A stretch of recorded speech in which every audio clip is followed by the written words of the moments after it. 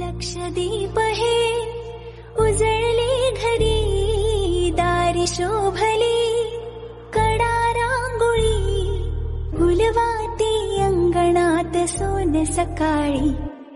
आली दिवाळी.